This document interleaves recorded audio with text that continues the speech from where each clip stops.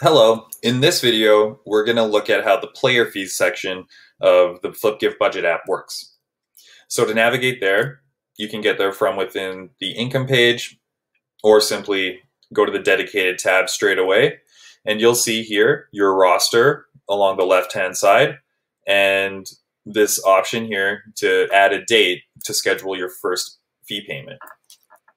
Now, what you're going to do is enter the total that you need to collect. So let's say from the whole team on this fee payment, we're collecting $10,000. And that comes in for September 1st. So we add that team fee, and it automatically divides that value up across all the players on the team. Uh, you can, of course, go in here and change this if you want to. Save that there.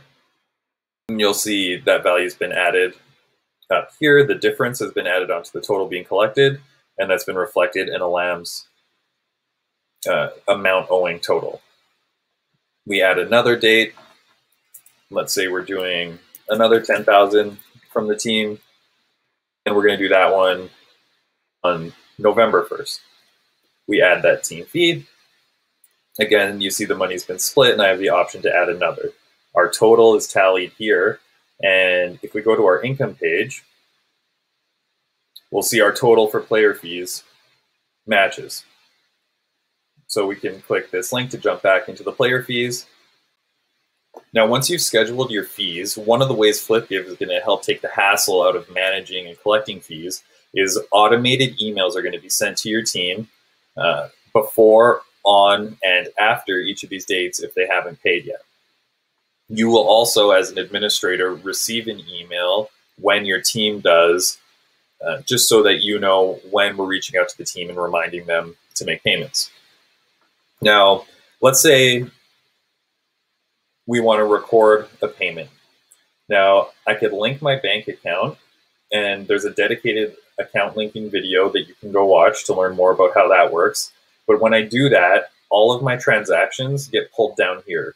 So as soon as someone transfers me money or a fee payment hits my bank account, it will show up here and I simply just file it under player fees and I click and choose the player that it belongs to. Now, let's say someone handed you some cash for their payment.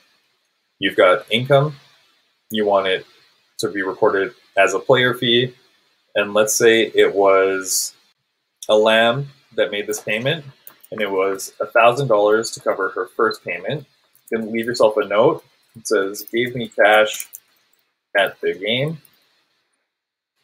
And you can say that they did that on August 19th. Now we add that to our list of activity, player fees paid by a lamb. And we go back to our fee page, we see that that checks out this value has been taken off of what a lamb owes, and there's this little indicator to help you remember when you're looking at this who's paid and who is not. And we see here a lamb's total owing is the sum of these numbers, and the amount that she's actually paid is reflected here. And that's how player fees work on FlipGive Budget.